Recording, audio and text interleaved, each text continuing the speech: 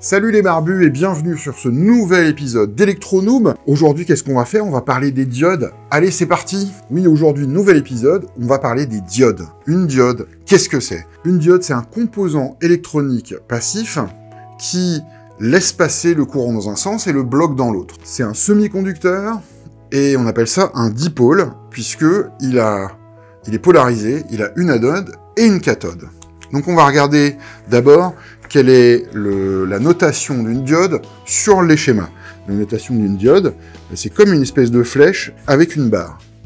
On a donc ici l'anode et ici la cathode. Alors pour que cette euh, diode fonctionne, il faut qu'elle dépasse un certain seuil de tension. Il existe aussi différentes diodes, alors je vais juste les citer et euh, faire les, notations, bien que honnêtement, j'ai aucune idée comment ces différents trucs marchent. On a donc une diode Zener, ne me demandez pas à quoi ça sert, j'en ai aucune idée. Alors apparemment ça laisse passer dans l'autre sens quand on atteint un certain seuil. On a une autre diode qui est comme ça, je sais pas comment elle s'appelle, qui est euh, suppression de tension transitoire. Ok.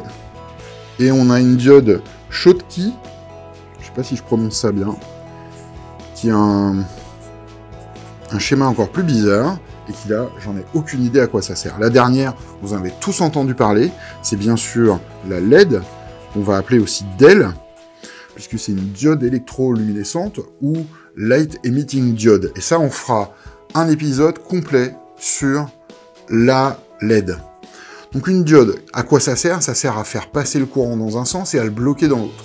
Quelle est l'utilisation standard? L'utilisation standard, on l'a vu dans l'épisode précédent, c'est un pont de diode. Un pont de diode, comment ça marche? C'est un système qui est relativement simple. Donc j'ai ma tension d'entrée ici, et ici j'ai ma, ma tension de sortie. Donc, si j'ai mon courant qui passe comme ça,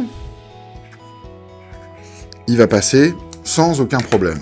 Si par contre, mon courant vient dans l'autre sens, il va être bloqué. Euh, et comment ça marche Si je fais un petit schéma, donc V-in, c'est un peu le bordel sur mon, sur mon calepin, qui est une tension alternative, et eh ben, le V-out va juste rediriger, entre guillemets, la tension pour redresser la tension et qu'elle soit plus alternative, qu'elle soit continue. C'est une des principales utilisations, en tout cas pour les makers de la diode, c'est prendre un courant alternatif et le rendre un courant continu. Alors bien sûr, on va utiliser, comme on l'a vu dans l'épisode précédent, un condensateur pour lisser un petit peu euh, ces éléments-là. C'est à peu près toutes les informations, en tout cas, que vous avez besoin de savoir pour des rudiments et des bases sur l'électronique par rapport à la diode. Je, sais qu'il y a énormément d'utilisations, on l'a vu, il y a plein d'autres types de diodes qui existent, mais en tout cas, nous, pour cette série, pour euh, une espèce d'introduction aux éléments électroniques, on n'a pas besoin d'en savoir plus. Euh, la seule chose qui est importante à savoir, c'est que la diode, elle est polarisée, et que si vous la dessoudez et que vous en ressoudez une neuve, il faut la souder dans le bon sens. Il faut aussi euh, qu'elle ait à peu près les mêmes valeurs, et franchement, c'est à peu près tout. Voilà, c'est tout pour cet épisode sur la diode. J'espère que cet épisode vous aura plu.